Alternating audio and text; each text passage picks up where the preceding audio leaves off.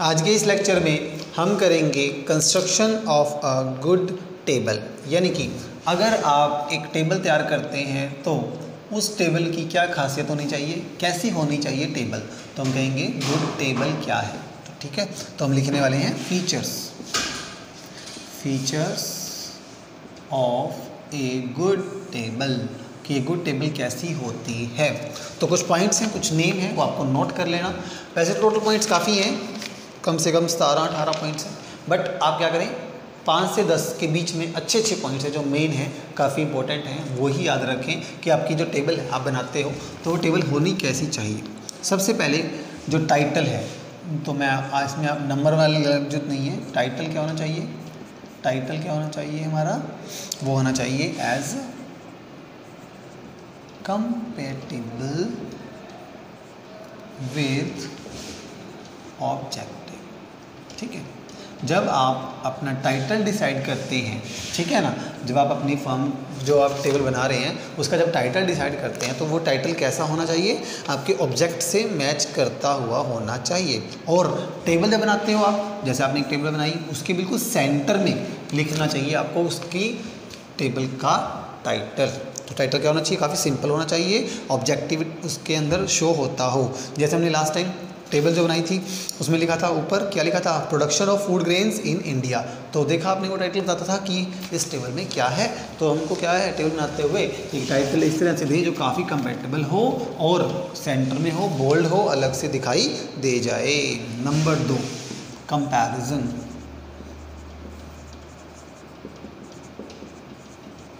हम्म comparison करने में आसान। आपको क्या होना चाहिए? It should be kept in mind that items which are to be compare with each other are placed in column और row close to each other देखो, आप जब बनाई जाती है, ऐसे कॉलम बनाते हैं आप, ठीक है? इस तरह से। आप उसमें इस तरह से बना देते हैं। अब यहाँ पर दो लिखा है या पाँच लिखा है या आठ है, इनके बीच में कुछ रिलेशन है, ठीक है? क्या मतलब ये राइस का प्रोडक्शन है। तो देख रहे हो आप 2011 में 12 में 2001 2002 2003 अलग अलग सालों में अलग अलग प्रोडक्शन है आपका तो इन तीनों के बीच में एक रिलेशन आप निकाल सकते हो। अब दो का पाँच के साथ क्या रिलेशन है? ये नहीं निकल सकता। ऐसे रिलेशन निकलेगा या इस तरह से रिलेशन निकलेगा? तो कंपैरिजन करना आसान हो। आप टेबल में इस तरह से डेटा क्या करें? फिल करें, ताकि आप आसानी से क्या कर सकें? कंपैरिजन कर सकें। तो टेबल बनाते हुए इन बातों को ध्यान में ज़रूर रखें। ठीक है? नेक्स्ट पॉइंट है हमारा आइडल साइज़ आपका जो टेबल है साइज़ कैसा होना चाहिए उसका? कम रो एंड कम कॉलम ज़्यादा नहीं होने चाहिए। ज़्यादा रो कॉलम होने पर बहुत बड़ी टेबल होगी। तो उसको कंक्लूजन निकालना, उसको स्टडी करना काफ़ी मुश्किल हो जाता है। तो इसीलिए क्या करें टेबल को बनाते हुए आप चीज़ों को ध्यान रखें कि आपकी टेबल कैसी होनी चाहिए। उसका आइडल साइज़ होना चाहिए। कम रो एंड कॉलम रखें। ज़्यादा रो, ज़्यादा कॉलम ना हो तो ज़्यादा होने पर आपको क्या हो सकता है? आपको प्रॉब्लम आ सकती है उसको रीड करने में, उसको समझने में। तो आइडल साइज़ क्या होता है? कम रो, लो ही रखें, कम ही रखें। आपकी रो भी और कॉलम भी। ठीक है? नेक्स्ट पॉइंट हमारा फोर्थ वो क्या है हमारा? Stubs row are very long आपको मालूम है रो तो होती हैं सबसे ज़्यादा लंबी होती हैं, ठीक है ना? तो आपको क्या देना चाहिए? राइट हैंड साइड में भी दे देना चाहिए। अगर स्टब्स की बात करें, देखो एक रो है। इस तरह से रो होती है आपकी, ठीक है? इस तरह से उसमें डेटा फिल किया जाता है। आपने इसका टाइटल है जो यहाँ पे लिख दिया, कि इसके अंदर क्या है? फ़ूड ग्रेन्स है, ठीक है? आपने लिख दिया। फ़ूड ग्रेन्स हैं। यहाँ पे ऐसे ऐसे लिख दिया आपने, ठीक है? बट इट रो काफ़ी लंबी है और यहाँ पे जब मैं आ गया तो ये चीज़ छिप गई। मान लो ये चीज़ छिप गई, आपको दिख नहीं रहा कि यहाँ पर क्या है। तो ठीक है, आप ये चीज़ बिल्कुल सेम यही चीज़ आप टेबल के राइट साइड में भी लिख सकते हैं, ठीक है? फ़ूड ग्रेन्स ठीक है, यही कहना चाहता है, जो स्टब्स हैं, वो क्या होता है? रो का हमारा क्या होता है? टाइटल होता है। तो रो का टाइटल इस तरफ़ है तो आप उस तरफ़ भी लिख सकते हो, अगर रो काफ़ी लंबी है तो। ठीक है, ज़्यादा लंबी रो में आप दोनों तरफ़ टाइटल लिख दीजिए, ताकि उसको समझने में आसान हो जाता है। ठीक है तो इस तरह से स्टब्स करते हैं। उसके बाद नंबर पाँच यूज़ ऑफ़ ज़ीरो हाँ जी तो should be zero should be use only to indicate the quantity of a variable otherwise क्या लगाएँ आप? हाइफन लगा दें या एन ए लिखें। नॉट एप्लीकेबल या हाइफन लगा दें या नॉट एप्लीकेबल लिखें। ज़ीरो सिर्फ़ क्वान्टिटी नल हो तभी लिखें। ज़ीरो किसके लिए यूज़ करें? क्वांटिटी के लिए ही यूज़ करें कि आपकी क्वांटिटी रियल में ज़ीरो है। मतलब उसका कोई प्रोडक्शन नहीं हुआ। जिसके बारे में आपको डिटेल नहीं पता तो नॉट एप्लीकेबल लिख दीजिए, या हाइफा लगा दीजिए। जब आप क्या करें प्रोडक्शन के लिए यूज़ कर सकते हैं सिर्फ़ और सिर्फ़ ज़ीरो के लिए। क्वांटिटी ऑफ़ वेरिएबल अगर कोई चीज़ है जो बदलती है, उसकी क्वांटिटी के लिए आप ज़ीरो यूज़ कर सकते हैं। अदरवाइज़ आप माइनस का निशान, यानी कि हाइफन और आप एन ए यूज़ कर सकते हैं। नॉट एप्लीकेबल आप यूज़ कर सकते हैं। तो ये पाँच फीचर्स मैंने बताई आपको। और बता देते हैं आपको, बहुत सिंपल सिंपल ही हैं, बहुत आसानी से कि आप जब भी एक टेबल बनाने जाएँ तो उस टेबल बनाते हुए आपको इन सब बातों को ध्यान में रखना चाहिए। नेक्स्ट पॉइंट है हमारा हेडिंग सिक्स पॉइंट है हमारा हेडिंग हाँ जी, जब आप टेबल तैयार करते हो तो एक हेडिंग होती है तो आपको क्या लिखें? एक सिंगुलर फॉर्म के अंदर अपनी आईडी जो हेडिंग है, वो लिखें। किस फॉर्म में लिखें? सिंगुलर जैसे, ठीक है, आप लिखते हैं गुड एक होता है गुड्स ठीक है, आप बताइए कौन सी फॉर्म सही लग रही है आपको? जब भी आप एक टेबल बनाएँगे, उसमें आप ऊपर लिख रहे हो हेडिंग में गुड नहीं भाई गुड लिखोगे या गुड लिखोगे? आप बताओ। आपको मैंने क्या बोला? सिंगुलर में होना चाहिए, यानी कि गुड लिखना चाहिए, ना कि गुड्स नीचे जो गुड्स दिए गए हैं तो ये नहीं होता। नीचे क्या दिए हुए? गुड दिए हुए हैं। ठीक है तो आप सिंगुलर फॉर्म में लिखें, ऐसी है इसका यूज़ ना करें। नेक्स्ट पॉइंट है हमारा सेवंथ फुट नोट हाँ जी, जब भी आप फुट नोट दें should be given only if needed अगर बहुत ज़्यादा ज़रूरी है तो ही दें इफ़ नीडेड ठीक है? और वो भी कैसे लगा के? स्टार लगा के। कोई एक ऐसा वर्ड है टेबल के अंदर जिसको एक्सप्लेन करना बहुत ज़रूरी है, तभी जाके आप उस पर स्टार लगा दें और नीचे फुट नोट में उसको क्या कर दें? एक्सप्लेन कर दीजिए। बिल्कुल सही। उसके बाद हम दे रहे हैं यूनिट्स जैसे आप लिखते हो इन थाउजेंड्स तो इस तरह से लिख देते हैं इन लैख लिख सकते हैं, ठीक है ना? इस तरह से आप ये भी लिख सकते हो। आपको अंदर जो होगा टेबल के, वो बार बार ज़ीरो ज़ीरो ज़ीरो लगाने की ज़रूरत नहीं होगी। आप टेबल के ऊपर लिख दें थर्ड थ्री ज़ीरो है, इसमें मतलब इन थाउजेंड्स है या इन लैख है इन टन है, ठीक है? इन क्या है? टन है। तो इस तरह से आपको क्या है, अलग से अलग अलग से बार बार लिखने की ज़रूरत नहीं पड़ेगी। आप यूनिट्स को बाहर ही मेज़र कर सकते हैं ताकि आपको टेबल लिखते हुए काफ़ी सही रहे, आपको आसानी रहे। आप क्या कर सकते हो परसेंटेज यूज़ कर सकते हो रेशो यूज़ कर सकते हो। परसेंटेज क्या होता है, जैसे बीस परसेंट, है ना? पंद्रह परसेंट, और रेशो क्या होती है? Three ratio two five ratio five तो इस तरह से फाइव रेशो फोर ठीक है, आप रेशियो का यूज़ कर सकते हो परसेंटेज का यूज़ कर सकते हो टेबल को जब कंस्ट्रक्ट करते हो टेबल को जब तैयार करते हो, उसके बाद फिर आता है हमारा एक और पॉइंट लास्ट वो है सोर्स ऑफ़ डाटा ज़रूर बता दें। आपने ये जो डेटा है, वो कहाँ से कलेक्ट किया है? आपको ज़रूर देना चाहिए ताकि बच्चों को या किसी भी इन्फॉर्मेशन जो ले रहा है, उसको ये कम से कम वो क्या कर सकता है क्रॉस चेक कर सकता है कि आपका जो डेटा है, वो कहाँ से प्राप्त हुआ है। तो ये था, अगर हम एक टेबल तैयार करते हैं तो गुड टेबल कैसी होती है, उसको कंस्ट्रक्शन करते हुए आपको इन बातों को ध्यान में रखना है। तो ये थी हमारी features of a good table ठीक है? आज हम करेंगे फिर अब अगला पॉइंट हमारा, वो है हमारा kinds of table next point है हमारा काइंड्स ऑफ़ टेबल यानी कि टेबल कितने प्रकार की होती हैं, उसके जितने प्रकार हैं, आज हम उनके बारे में स्टडी करेंगे. सबसे पहले, हम बनाते हैं, एक डायग्राम से बना देता हूँ मैं आपको. डायग्राम बना के प्रेजेंट करता हूँ कि आपको टेबल जो है, वो कितने प्रकार की है, कितने काइंड की है. तो मैं लिख रहा हूँ यहाँ काइंड्स ऑफ़ टेबल इसकी बजाय मैं यहाँ लिख देता हूँ। इसको आप रब कर दीजिए। काइंड्स ऑफ़ टेबल ठीक है? काइंड्स ऑफ़ टेबल टेबल को तीन कैटेगरी में बांटा गया है। तीन कैटेगरी में इसको डिवाइड किया जाएगा। तो मैं क्या कर देता हूँ? एक पार्ट यहाँ ले लेते हैं हम। एक पार्ट इस तरह से यहाँ ले लेते हैं और एक पार्ट इस तरह से यहाँ ले लेते हैं। तो काइंड्स ऑफ़ टेबल तो टेबल को हम तीन हिस्सों में डिवाइड कर दिया। तीन तरह से हम कंस्ट्रक्शन करते हैं टेबल का। सबसे पहला जो इस तरफ़ है, वो है हमारा अकॉर्डिंग टू पर्पस यानी कि जैसा हमारा पर्पस होगा, जैसा हमारा उद्देश्य होगा, उसी के हिसाब से हम क्या तैयार करते हैं, अपनी टेबल्स तैयार करते हैं। नेक्स्ट पॉइंट है हमारा अकॉर्डिंग टू ओरिजिनलिटी डेटा की ओरिजिनलिटी के बेस पर देखा जाता है कि डेटा कैसा है, उसी के हिसाब से उसकी टेबल तैयार होती है। और एक होती है हमारी अकॉर्डिंग टू कंस्ट्रक्शन कंस्ट्रक्शन के हिसाब से। भी हमने जिस तरह से उसको बनाया है, उसको देख करके हम ये बता सकते हैं कि हमारी टेबल कितने प्रकार की है। ठीक है? तो according to purpose according to originality and according to construction तीन तरह से हमारी जो टेबल है, वो बनाई जा सकती हैं। बात करते हैं अकॉर्डिंग टू पर्पज़ जब अकॉर्डिंग टू पर्पज़ बनती है, तब कितने टाइप्स हैं इसके? दो टाइप्स हैं। पहला है हमारा जर्नल पर्पज़ पर्पज़ टेबल और दूसरा क्या है हमारा? वो है स्पेशल पर्पस टेबल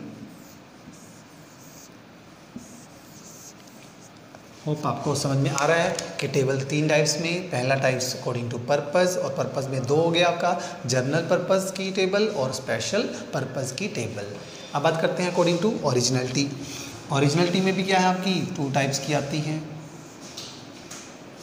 सबसे पहले आता है ओरिजिनल टेबल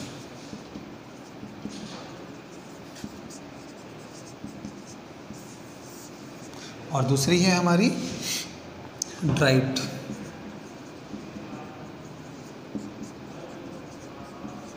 टेबल तो अकॉर्डिंग टू ओरिजिनलिटी हमारी टेबल कितनी प्रकार की होगी? दो।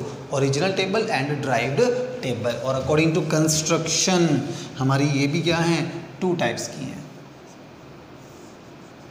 पहली है सिंपल और वन वे टेबल क्या है हमारी? सिंपल और वन वे टेबल और दूसरा होता है हमारा कॉम्प्लेक्स टेबल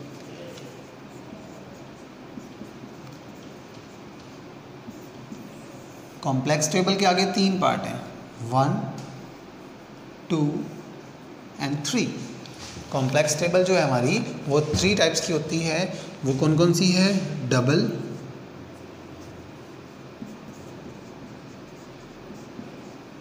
दूसरा है ट्राइबल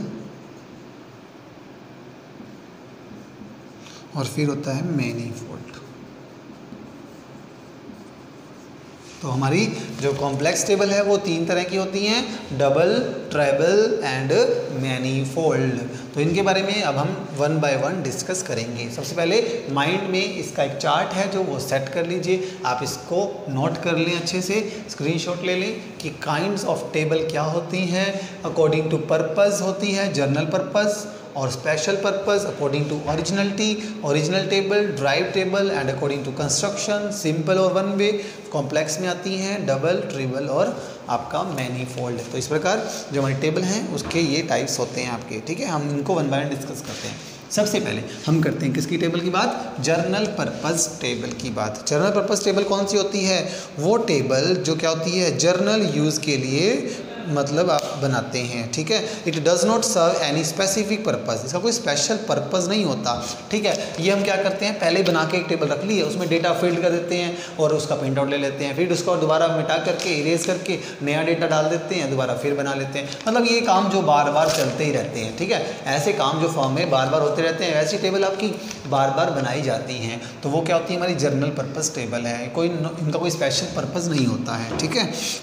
जैसे हमारा आपका ये बात करते हैं कि ऑफिशियल डेटा है हमारा, आपने जैसे सेंसस हुआ हमारा, जनगणना हुई उसमें से कुछ डेटा निकाल के कुछ हमने डेटा से लोगों के सामने रख दिया है। तो जर्नली तो सबको पता है। हमने कोई स्पेशल कंस्ट्रक्शन तो किया नहीं इसका तो वो चीज़ें आती हैं आपकी जर्नल पर्पज़ टेबल होती है, जो जर्नली आम लोगों के लिए बनाई जाती है। ये है हमारी दूसरी नंबर दो स्पेशल पर्पज़ टेबल अब स्पेशल पर्पज़ है तो आपको नाम से समझ में आ रहा है कि इस टेबल को बनाने के लिए हमारे पास क्या है? एक स्पेशल रीज़न होता है, एक पर्पज़ होता होता है। तो ये टेबल जो है प्रिपेयर की जाती है स्पेशल पर्पज़ के लिए, जो हमारे माइंड में होता है, ठीक है? तो इसीलिए इस टेबल को प्रेजेंट करने के लिए काफ़ी एनालिसिस करके रिजल्ट्स निकाल के इनको, तब इनको पेश किया जाता है। तो ये समझ लो कि ये टेबल वैसी है जो एनालाइज की गई है, ठीक है ना? एनालिसिस के लिए पेश की जाती है। जैसे मान लीजिए, साल के एंड में जब बच्चे का रिज़ल्ट सुनाया जाता है फाइनली रिपोर्ट कार्ड तैयार होता है, वो ये एक स्पेशल पर्पज़ के लिए टेबल बनाई जाती है। सब बच्चों के उसमें मार्क्स चढ़ाए जाते हैं और फाइनली फ़र्स्ट सेकेंड थर्ड निकाला जाता है।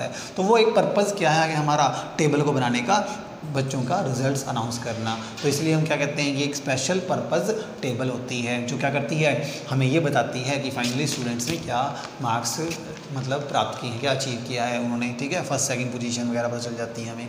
तो ये स्पेशल पर्पज़ के लिए ये टेबल बनाई जाती हैं। इन्हें समरी टेबल भी कहते हैं, ठीक है?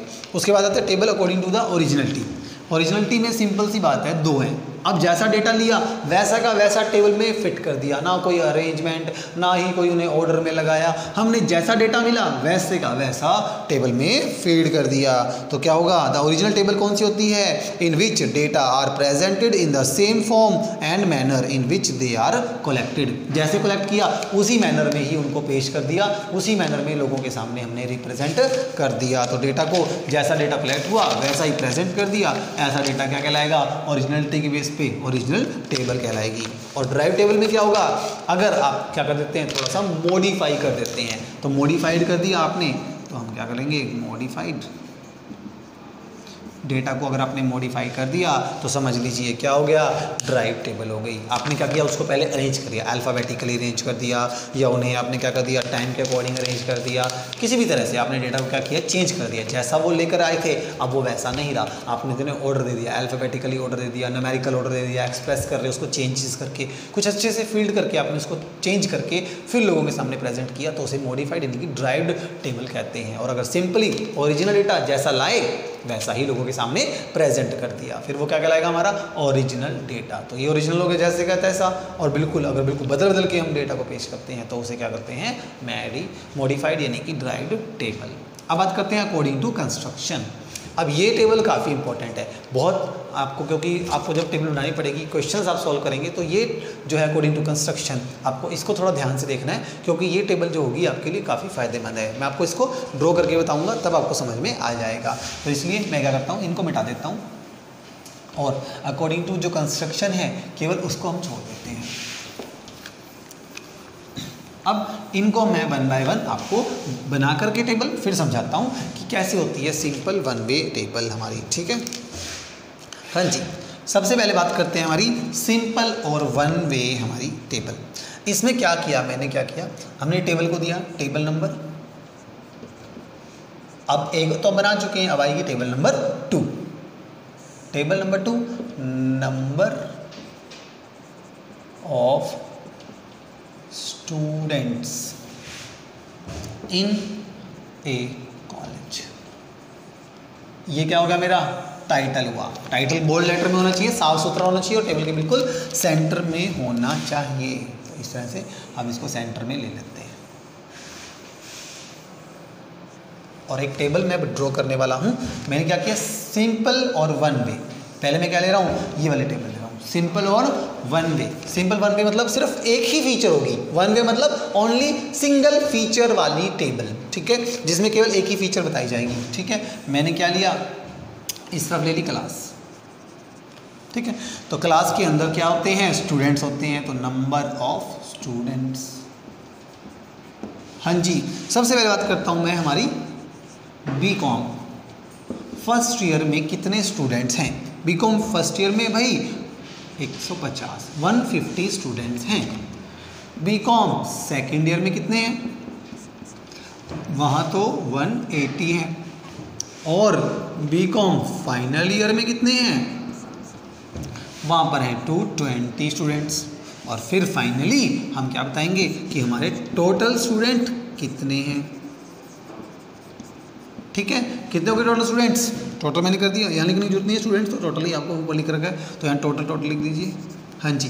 टोटल कितने हुए? दो, तीन, चार। पाँच, सौ पचास। फाइव हंड्रेड फिफ्टी स्टूडेंट तो इस तरह से हमारे टोटल स्टूडेंट्स कितने हो गए? फाइव फिफ्टी सिक्स फिफ्टी हो सर सिक्स फिफ्टी छः सौ पचास। दो, तीन, चार। पाँच सौ पचास ठीक है, चलिए। फाइव हंड्रेड फिफ्टी वो सही था पहले फाइव फिफ्टी ही है टोटल तो ये हुए हमारे नंबर ऑफ़ स्टूडेंट्स जो अलग अलग क्लास में हैं और आपको सिर्फ़ एक ही फीचर पता चल रही है क्या? कि हर क्लास में कितने बच्चे हैं। तो एक सिंगल वन वे टेबल जिसको हम क्या कहते हैं? सिंपल या वन वे जिसमें केवल एक ही फीचर के बारे में बताया जाए। ठीक है? अब बात करते हैं नेक्स्ट टेबल हमारी। वो कौन सी है हमारी नेक्स्ट ट्राई कॉम्प्लेक्स टेबल में। कॉम्प्लेक्स टेबल में हमारा अब हम करेंगे कौन सा? डबल वाली, जिसमें दो फीचर होंगी, ठीक है? अब इसी टेबल को मैं दो फीचर्स में कन्वर्ट कर देता हूँ। कैसे? अब ध्यान से देखिए सभी। हमारे पास क्या है? इस तरह से टेबल थी, मिटाना ही पड़ेगा आपको सारा ही। हाँ जी टेबल नंबर वही है आपका।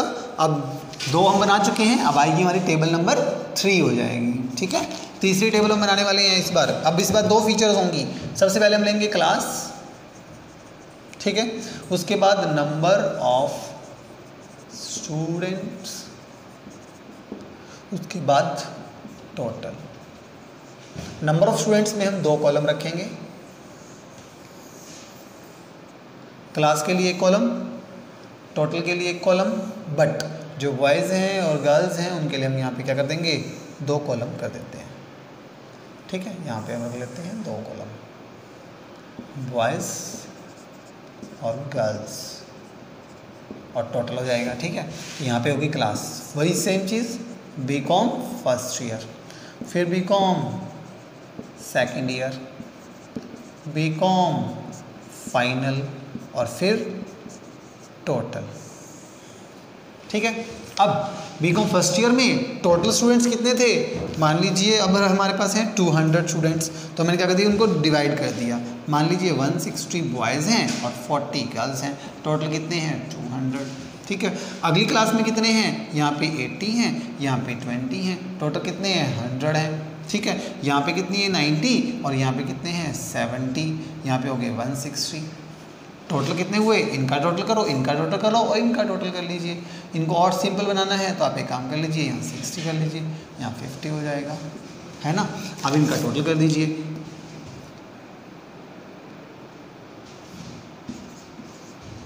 तीन सौ तीस, इनका टोटल करो।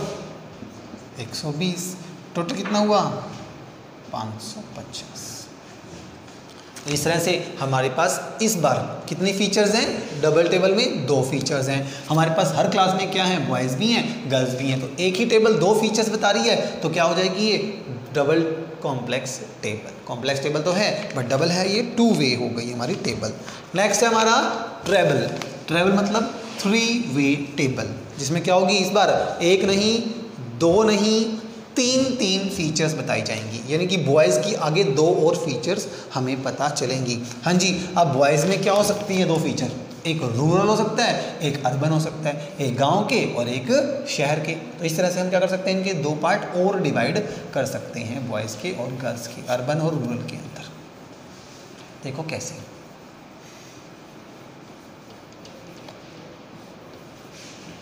इसी टेबल में हम इसको बना देते हैं कंस्ट्रक्शन कर देते हैं। कैसे? सबसे पहले बॉयज़ इस तरफ़ रख लीजिए। गर्ल्स इस तरफ़ रख लें। और हमें इनकी एक फ़ीचर और बतानी है, ठीक है ना? ये तो हो गया टू पॉइंट्स अब एक फ़ीचर और बतानी है तो उसमें क्या रखेंगे? हम इनके दो पोर्शन और कर देंगे। हाँ जी, ये हो जाएगा boys urban and rural urban and rural यानी कि गाँव में रहने वाले और शहर में रहने वाले बॉयज़ एंड गर्ल्स टोटल कितने हैं? 200 आपके जो बॉयज़ की संख्या है, वो कितनी है? मान लीजिए, हमारे मैंने रखे थे आपके यहाँ पर 150 और ये 50 तो 150 में आपके टू पार्ट कर लीजिए. 100 इधर कर लो 50 इधर कर लीजिए. 150 उनके बचे 50 50 में से 25 25 कर दीजिए. ठीक है? तो मेरे ख्याल से अब आपको क्लियर हो गया कि इस टेबल की जो फीचर्स हैं, वो कितनी हैं? बॉयज़ नंबर ऑफ़ स्टूडेंट्स हैं एक. दूसरा बॉयज़ गर्ल्स हैं दो. तीसरा, वो अर्बन और रूरल भी हैं. तो ट्रैवल हो गया आपका। तो एक, दो, तीन फीचर्स आ गई इसमें तो ये टेबल क्या बन गई हमारी? ट्रैवल बन गई। सेम ऐसे आगे भी चल है। अपने हिसाब से ले लीजिए, पच्चीस ले लें, इधर बीस ले लें, इधर ट्वेंटी फाइव ले लें, इधर ट्वेंटी ले लीजिए। कोई फ़र्क नहीं पड़ता। आप डेटा कुछ भी ले सकते हैं। इधर थर्टी रख लें thirty five twenty five twenty अब इनका जो डेटा है, वो थोड़ा सा चेंज हो जाएगा। बस टोटल में चेंज हो जाएँगे। आपका बाकी सेम रहेगा। ठीक है? इस तरह से इनको टोटल कर लीजिए। टू टू सिक्सटी फाइव हो गया। टू टू टू, पचहत्तर हो गया इनका। तीन दो पाँच, एक सौ पाँच हो गया इनका। और तीन दो पाँच और एक पाँच, एक सौ पचपन इनका हो गया टोटल ठीक है, अब इनका टोटल इस तरह से कर लीजिए। बीस, चालीस, साठ, अस्सी और नब्बे। ठीक है, इनका टोटल कर लो तीस, साठ, अस्सी और सौ, एक सौ दस। ठीक है, इनका टोटल कर लीजिए एक सौ दस, दो सौ दो सौ दो सौ। चार सौ, टोटल चार सौ स्टूडेंट्स हो गए तो ये देखा आपने, एक से ज़्यादा हो गया। एक, दो, तीन। सिंपल में एक था कॉम्प्लेक्स में पहले डबल किया, हमने दो किया, अब हमने तीन कर दिया। अब मैनीफोल्ड मैनीफोल्ड में क्या होगा, इससे भी आगे, अगर इससे भी ज़्यादा अगर हमारी टेबल की फीचर्स होती तो क्या बन जाता वो हमारा? मैनी फोल्ड बन जाता है। अब इससे एक फीचर और क्या बना सकते हैं हम? हाँ जी कॉलेज में पढ़ने वाले लड़के लड़कियाँ गाँव में रहने वाले लड़के लड़कियाँ और उसके बाद शादीशुदा और अनमेरिड अविवाहित शादी वाले हो गए एक तो मैरिड एक होते हैं अनमेरिड तो वो दो भी हो सकते हैं। तो वो बन जाएगी, हमारी कौन सी फीचर बन जाएगी? मैनी फोल्ड बन जाती है। आइए जानते हैं कैसे। इसमें हम देखते हैं अभी किस तरह से हमारी बनेगी मैनी फोल्ड अभी इसी में ही हम एक पार्ट और कर सकते हैं, ठीक है? तो हमें क्या करने वाले हैं? इसमें एक पार्ट और बनाने वाले हैं। आप देख लें ध्यान से टेबल को। हमने क्या किया? इसकी एक फीचर बनाई नंबर ऑफ़ स्टूडेंट्स फिर बनाया बॉयज़ एंड गर्ल्स फिर बनाया अर्बन एंड रूरल अब इसका एक पोर्शन और करने वाले हैं, ठीक है? वो क्या होगा हमारा? मैरिड और अनमैरिड तो मैं एक पोर्शन और कर देता हूँ इसका। होप आपको क्लियर हो रहा होगा। एक टेबल की कितनी फीचर्स हो गई हैं? Married unmarried married unmarried married unmarried ये भी मैरिड और ये अनमैरिड ठीक है? इस तरह से। बाकी सेम रहेगा। वही बी कॉम फ़र्स्ट ईयर में। हाँ जी, कितने स्टूडेंट्स हैं बी कॉम फ़र्स्ट ईयर में? फिर उसमें से बॉयज़ कितने हैं? और अर्बन कितने हैं? और मैरिड कितने हैं? मैरिड हैं सिर्फ़ तीन। अनमैरिड हैं पाँच। इस तरह से आप डेटा फिल करें और फिर इनके टोटल आप बता सकते हैं। तो ये जो डेटा होगा, ये जो टेबल बन रही है, ये क्या हो गई?